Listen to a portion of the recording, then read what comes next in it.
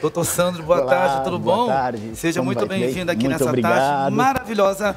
Hoje nós vamos abordar um assunto que tem, podemos dizer que é um assunto polêmico, Sim, é relevante. Relevante. De extrema importância. de extrema importância.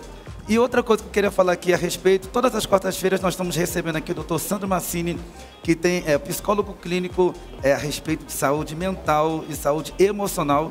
Nós temos sido tremendamente edificados todas as quartas-feiras e no meu Instagram tem pessoas que mandam mensagem falando que os temas que têm sido abordados aqui no programa têm sido de bastante relevância para eles.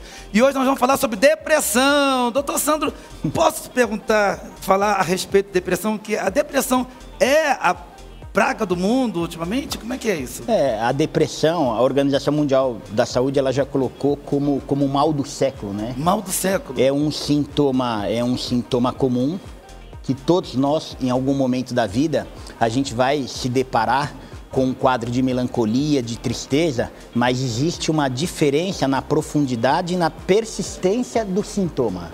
Então as pessoas acabam confundindo, né? Ah, eu estou triste, eu estou com depressão. Não, tristeza faz parte. A tristeza faz parte? Faz parte da vida, né?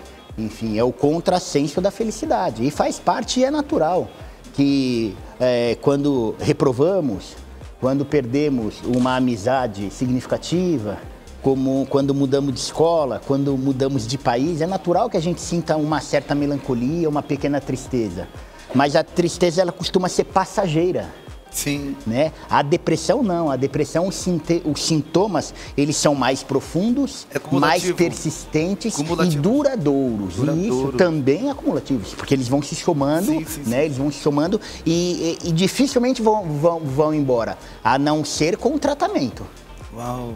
Então, existe dois, é, há uma diferença muito grande de tristeza para depressão. Perfeito? São dois, são opostos. São, não, opostos não, Não. mas assim, é, a, a- a profundidade, a duração, aí assim a gente consegue diagnosticar, olha, este sujeito ele está depressivo ou apenas é um momento de tristeza, é um momento passageiro na vida dele, devido a uma perda, devido, enfim, a, a reprovação, uma prova que não passou, um trabalho que não entrou, uma viagem que não fez. Então tem uma certa, tem uma certa diferença e como todo diagnóstico clínico, né, como todo diagnóstico psiquiátrico, é, a avaliação ela é feita de uma forma clínica. Tem alguns critérios, como todo diagnóstico, ok? O olhar clínico e apurado de um especialista.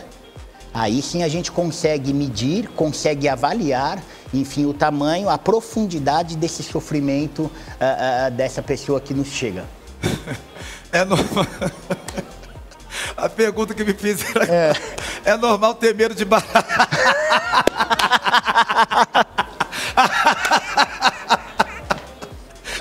Eu não- Essa pergunta é, é é fantástica, né? Que não tem nada a ver com depressão, né? Tem a Mas ver olha- com fobia, medo. Eu, eu vou falar, você vai até ver- falar assim, que isso, Renato? Eu não tenho medo de barata, eu tenho nojo. Mas só que entre barata e lagartista, eu tenho pavor de lagartista. É. Eu acho que bicho nojento, cara.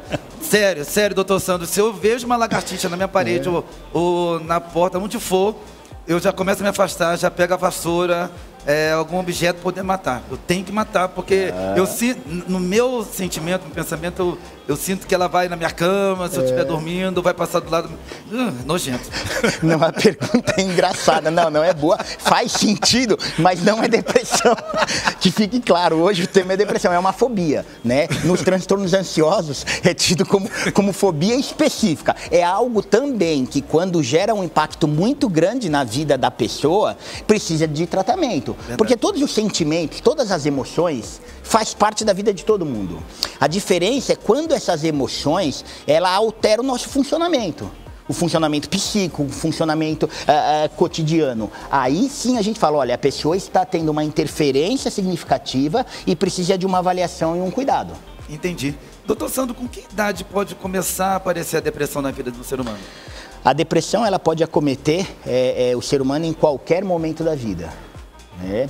Antes da pandemia, tem alguns estudos que diz né, que ah, antes da pandemia, ela acomete a qualquer idade, mas antigamente eh, a prevalência era numa idade mais avançada. Com o advento da pandemia, né? Então a gente está falando aí de 2000 para cá, de 2020 para cá. Uh, ela hoje ela acomete muitos jovens, muitos adultos, Uau. ok? E numa menor e numa menor porcentagem, né? Ela também acomete crianças. Então crianças. a depressão hoje, a depressão hoje ela, ela pode acometer ok? Qualquer pessoa e em qualquer faixa de, de idade. É claro que, como todo sintoma psiquiátrico, existe algumas prevalências e alguns, a, a, alguns mecanismos, alguns gatilhos que favorecem o aparecimento de doença. Então a gente pode pensar sempre no lado biológico, né? A, o fator hereditário, né? fator de personalidade e o fator social. Então, a soma desses três critérios, ok, favorece o aparecimento em algum momento da vida. Em algum momento da vida, o, a, a, a, pessoa pode vir desenvolver um quadro, um quadro de humor. Depressivo. Um quadro depressivo. depressivo. Nós, nós abordamos aqui, vamos fazer uma retrospectiva lá atrás do, dos temas. Nós abordamos aqui sobre é, ansiedade, falamos sobre o sono, falamos sobre burnout, o alcoolismo, alcoolismo burnout, é TDAH. Trans, isso, TDAH. Falamos e, sobre alguns quadros ansiosos. Quadros ansiosos. Sim. E também hoje nós estamos falando sobre a depressão. De todos esses quadros que nós falamos num decorrer, num prazo de um mês, um mês e meio, é, eu posso eu posso perguntar, falando se na pandemia, no prazo de dois anos, de 2020 para 2022, a depressão foi maior do que todos esses? Ah, sim, a depressão, a depressão e a ansiedade. O que o, os, o que os estudos, junto. é, o Uau. que os estudos dizem é que teve um aumento de no mínimo 40% dos casos ansiosos e depressão no mundo, mas não é só no Brasil, é no mundo, Uau. né? Ansiedade porque a gente não sabe, é, a gente não sabia como que ia terminar essa pandemia. Lembra que é, era dito que ia durar um mês, depois seis meses, depois de um ano. Se passou aí dois anos da pandemia e agora os casos, alguns casos estão, estão voltando. voltando. Então é algo que ainda estamos vivendo, né? É um vírus que ainda a gente precisa tomar cuidado, a gente precisa se precaver, porque ainda ele não foi extinto. E isso gera ansiedade, é natural que, gera, que gere-se ansiedade e depressão, porque gera muito medo, gera muita angústia. Nossa, e o que faz aumentar a, a depressão na vida de uma pessoa? Os fatores são, são os mais diversos, né? Os fatores são os mais diversos. Mas um ambiente hostil, um ambiente de muita pressão, ah. um ambiente de uso e abuso de qualquer substância psicoativa, desde o cigarro ao álcool, a maconha, qualquer tipo de droga. Né? Sério? Né? Sim, favorece, favorece. A, a, a, algum estresse de uma forma muito, muito significativa, roubos, assaltos. Então, é, são várias as circunstâncias, ok, que o ser humano pode se deparar que chama-se gatilhos, né, para que ela venha a desenvolver abandono, rejeição, maus tratos, abuso. Nossa, eu poderia ficar é, falando aqui por várias, vários, é, várias causas, né? Várias causas. E aquele ambiente de conflito, de confusão, de contenda que, tem, que se tem muito dentro de uma residência. Tem muitas casas que Sim. sete dias na semana, vamos botar aí que cinco dias na semana é só contenda, conflito, contenda, conflito. Isso pode aumentar o quadro de depressão dentro da residência? Sim, olha, a gente sabe que qualquer transtorno emocional, é, como eu disse, existe o fator hereditário, né? É, o fator de personalidade e o ambiente e o contexto social, seja na empresa, seja em casa, seja na família. É, o que a gente indica a todos os clientes, a todos os nossos pacientes, é que eles busquem um ambiente saudável e acolhedor.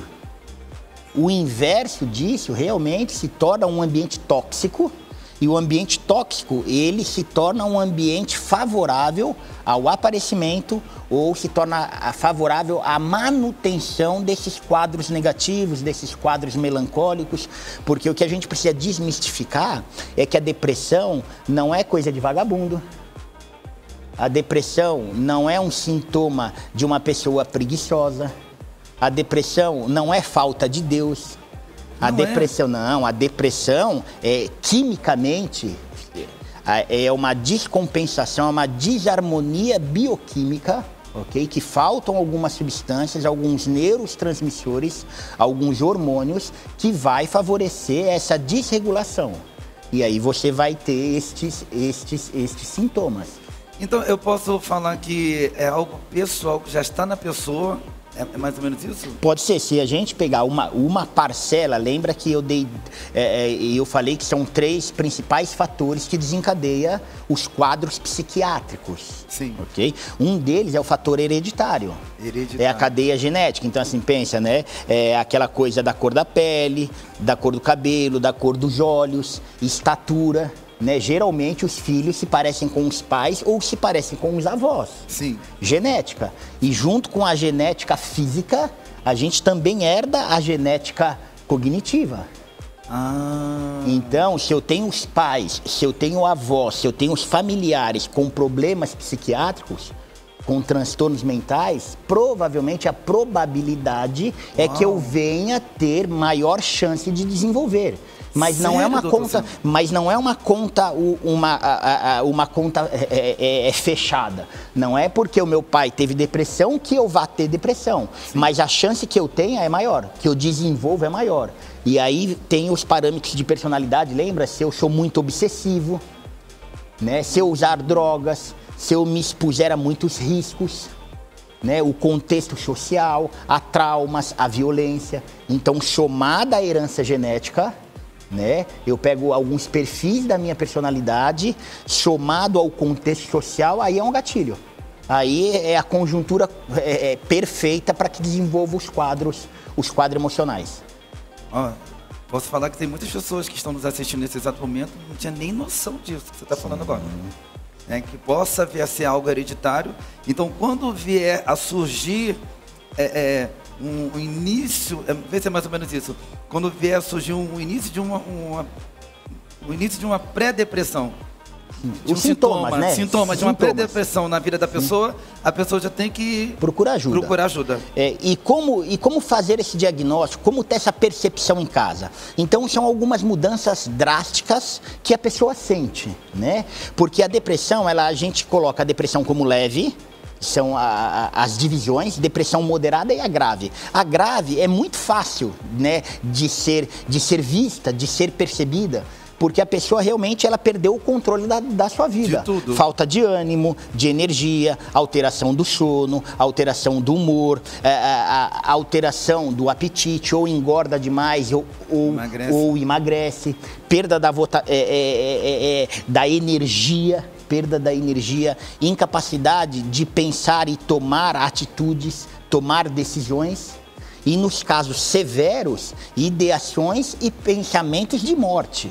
Esse daí, é, não esse que você está falando agora de pensamento de morte, mas quando você falou agora a respeito desses riscos que a pessoa já começa a ter, falta de apetite, ou engorda demais, emagrece demais, o, o ânimo dela, a pessoa, no caso, ela já se entregou. Sim, assim, é, é porque eu, eu não uso o termo se entregar, porque eu acredito algo, é, é, é, eu acredito em doença. Isso é um Sim. quadro patológico. Uhum. Então não é que a pessoa ela, ela se entregou à doença, é porque os fatores é, é são muito fortes, os, sinti, os sintomas são muito fortes e prevalentes. Então imagina, ela começa a ter uma falta de energia absurda.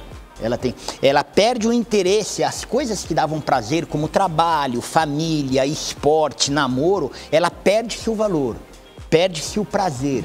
Né? Ela para de pensar no futuro, em projeções, em estudo, em trabalho. Assim, a pessoa, o mundo vai perdendo a cor o mundo vai ficando cinza para a pessoa que sofre de depressão. É como se ela olhasse ao seu redor e perdesse a sua referência enquanto pessoa e a sua referência enquanto núcleo familiar, o núcleo social. Então, é, é, é, é ela, volto a dizer, a depressão grave, ela requer realmente tratamento e urgente. Uau. Então, vocês que nos, que nos escutam, né, que estão nos assistindo, se vocês estiverem passando por um, por um quadro similar a esse, ou se vocês souberem alguém que está passando por, esta, por essas conjunturas de fatores, pede ajuda, se abre, conversa com o seu familiar, né? liga para um amigo, procura um profissional, porque provavelmente você pode estar sentindo, você pode estar sofrendo de depressão. Que forte, muito forte mesmo. Agora a pergunta que eu não quero calar, doutor Sandro, pelo amor de Deus, é aquelas mulheres que levaram nove meses né, para poder ter seu filho, e aquela ficou naquela ansiedade, naquele desejo, agora vai, agora vai, agora vai. Tem um filho debaixo de muita saúde, graças a Deus por isso, mas aí vem a depressão pós-parto. É lidar com isso? Como é, como que é isso? Então, olha, é, é, o diagnóstico, o quadro depressivo já é uma doença, a prevalência da, da depressão, ela se dá jamais em mulheres do que em homem. Então, geralmente é de duas mulheres para um homem. Oh. Né? Por conta, por conta dessa, dessa alteração hormonal que a mulher sofre. Né? No parto, a mãe, imagina só que é um único corpo, que tem, que tem a capacidade de gerar outro, outro, outro corpo que se alimenta é, é, é, de, de, um, de um único ser. Então, esta produção, esta força é algo que realmente interfere completamente a capacidade hormonal. Então, isso mexe, mexe com a mulher e é natural e acontece e com uma certa e com uma certa prevalência acontece a depressão pós-parto né? Mas que eu, eu, no meu pensamento eu fico assim pensando, hum. era algo que era para ser é, de felicidade, de alegria, de comunhão entre o casal, mas hum. a mulher ela tem isso praticamente eu posso falar que são todas? Tem... Não, não, não são não, todas. Não, não, não, não são todas. É uma parte, é uma, uma é uma parcela e volto a dizer, para que ela tenha, para que ela uh, desenvolva este quadro, lembra dos fatores, sempre é somado aos fatores. Não é algo que aconteceu realmente por conta apenas e restrita da gravidez pode ter sido da gestação, né? Pode ter sido uma gravidez uh, uh, de muita turbulência, ah, pode ter sido uma gravidez. Muito estresse. de estresse. Pode ter sido uma gravidez não desejada. Pode ter feito algum uso Isso ou abuso da pessoa? Sim, claro. Ataca, né? Pode ter feito uso ou abuso de qualquer substância. Né? A gente sabe que tem muitas que tem muitas mães que mesmo estando grávidas continuam fazendo uso de bebida alcoólica. Verdade. Continuam fumando. Continuam fumando. Usando então drogas. tudo isso são fatores que vai interferir. Então, é, é, volto a dizer, né? O, o, diagnóstico psiquiátrico é muito complexo, né? Porque quando a gente olha de uma maneira isolada, é muito fácil a gente apontar, mas se a gente vai investigar, enfim, aí a gente acaba entendendo o porquê das coisas. Nossa, forte, hein? E o que, você fala pra gente, doutor Sandro, a respeito da depressão maior? Então, a depressão maior é tida como esse quadro da depressão grave, né? Volto a dizer, a depressão leve, moderada e grave. É aquele, é, é aquele quadro que se instalou, ok? E permanece durante muito tempo e que acomete a vida da pessoa em todos os seus, em todos os seus, os seus parâmetros. Vai acometer a vida de, uma, de, um, de um indivíduo dentro da sua casa, na sua relação familiar, na sua relação profissional, na sua relação social, na sua relação laboral. Então, a depressão maior ou a depressão grave é este quadro de saúde que impacta o funcionamento cognitivo e o funcionamento físico, emocional do ser humano a todo, enfim, é, a tudo que ele vai fazer. Né? E a diferença lá atrás que eu disse da depressão e da tristeza, que as pessoas acabam se confundindo, é, é para que a gente faça o diagnóstico de depressão, esse sintoma melancólico, de falta de energia, de alteração, uh, alteração no apetite ou alteração no sono, né? Esta, esta é, é, dificuldade em tomada de, de, de, decisão, pensamentos de desvalia, pensamento de inutilidade, que são todos os sintomas da depressão. Esses sintomas ele tem que permanecer quase que diariamente, quase que o dia todo, por no mínimo 20 dias, duas, três semanas. Uau. Quando esse sintoma, então você vê que o percurso da doença ela é muito mais severo. Né? A tristeza já não. A tristeza é coisa de dois, três dias. A pessoa ficou triste que levou um fora do namorado, ou ficou triste porque reprovou na prova, é ou foi fazer a prova lá de, de, volante na, na autoescola pela terceira vez e não passou. É claro, vai eu ficar fiquei triste. Arrasado, fiquei arrasado, fiquei arrasado por dois motivos na minha vida. É, por ter sido reprovado pela segunda vez na prova da autoescola, mas na terceira eu passei. Você viu que eu falei certo, é, né? Você viu que, que, eu trouxe. Eu falo isso porque no, no consultório eu ouço muito isso. isso. Direto. É, que, a, que a, porque são, são jovens, acabado de completar 18 anos, ah, aí as mães desesperadas, né, trazem meu filho. Ah, ele está depressivo, que reprovou na prova duas, três vezes. Não é depressão, Nossa. é tristeza, é natural. É, tristeza. é natural. A gente, a vida é feita de superações. Então imagina se a vida fosse, fosse tudo, é, é, é, tudo festa, tudo sim, tudo facilidade. A vida perderia o sentido, o significado. Então as, as dificuldades, né, as provas nos favorece a formação do nosso caráter favorece o nosso, a, a, a, a, nossa postura, né? Enquanto seres capazes de fazer escolha, colocar o objetivo em busca dele. É verdade. E eu fiquei também assim muito arrasado na segunda vez. Eu fui tentar três vezes, três vezes para poder tirar o, vi, o visto dos Estados Unidos. Na primeira não passei, na segunda também fui reprovado, aí não queria saber mais. Ai, tá, que promessa de Deus nada, que Deus prometeu que eu vou para os Estados Unidos, né? Aí na terceira, quando eu tava, quando menos esperava, aí vem recebi lá o, o carimbo do visto né, nos Estados Unidos, uhum. 10 anos. Aí ano passado venceu e esse ano já renovei para mais 10 anos também, agora estou feliz. Tá. E como, como você tinha falado no comecinho, logo no comecinho, a depressão, ela pode levar a pessoa à morte. Sim, sim. sim. O, o, último critério da, da depressão, se a gente olhar os critérios para fazer o diagnóstico, o nono e último critério são esses pensamentos recorrentes de morte, que são dois momentos.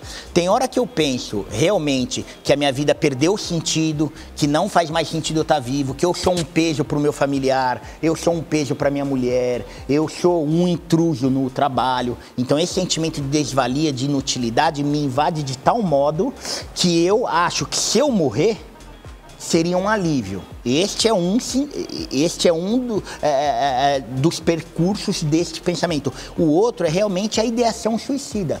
Eu penso realmente em me matar. Então é algo mais severo. E isso acontece nos quadros depressivos e em alguns transtornos psiquiátricos. Este sentimento realmente faz parte do pensar, faz parte do dia a dia do doente. Doutor Sandro, eu recebo, é, agora até que parou um pouquinho, mas eu, eu recebia muitas mensagens de pessoas chegavam para mim, me ligavam e falavam assim, me ligando, é, três horas da madrugada, duas ou quatro, ah, eu quero me matar porque, um exemplo, meu marido me traiu, ah, eu quero me matar por causa do problema tal, ah, minha vida não tem mais rumo. É, é, um, é um, ditado popular que as pessoas, que eu penso o seguinte, quem quer fazer, não fala, hum. faz.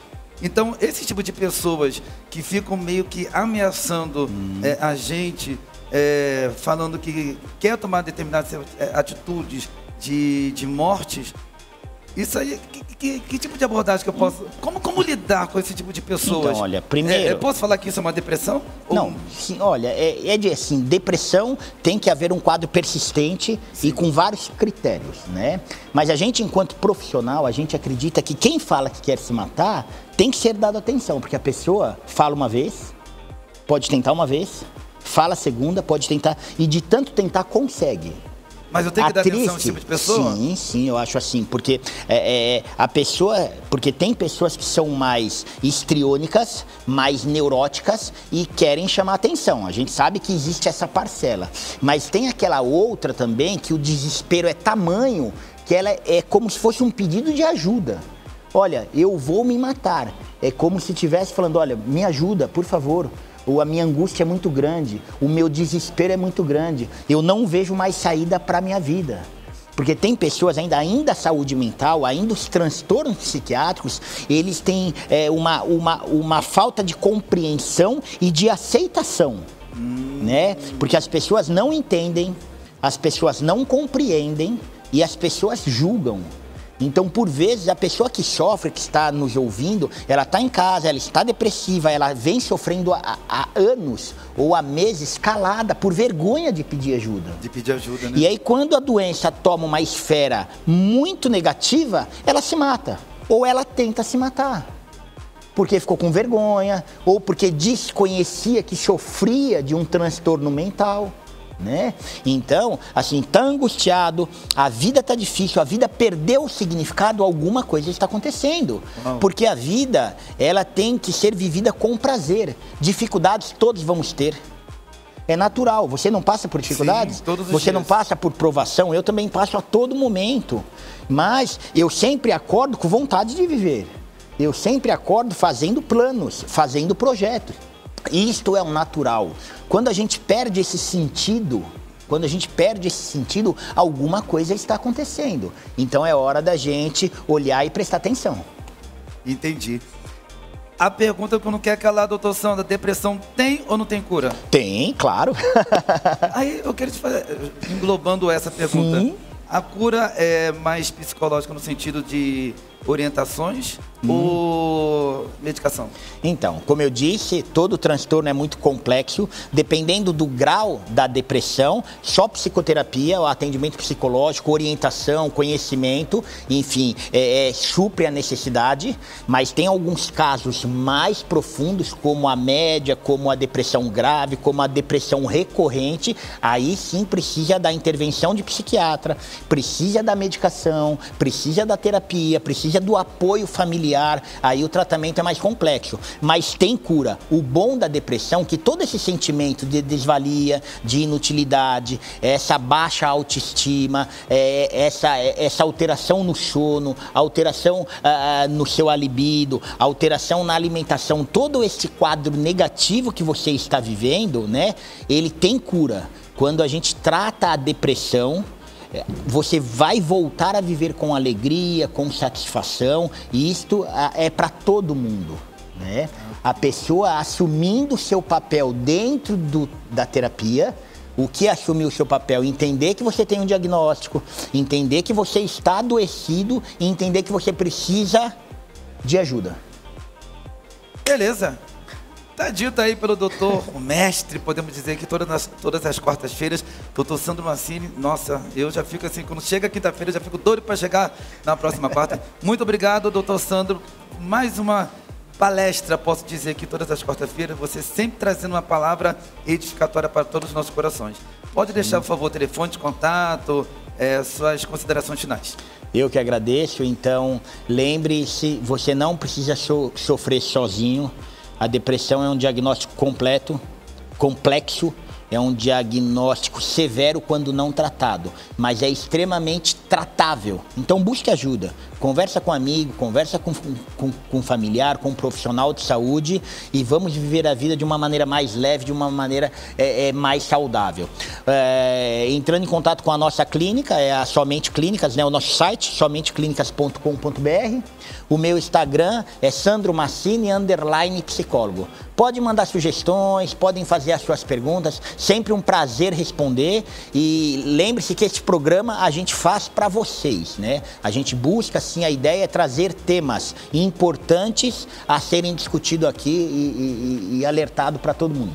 Obrigado, meu amigo. Até quarta-feira da semana Até. que vem. Com Deus.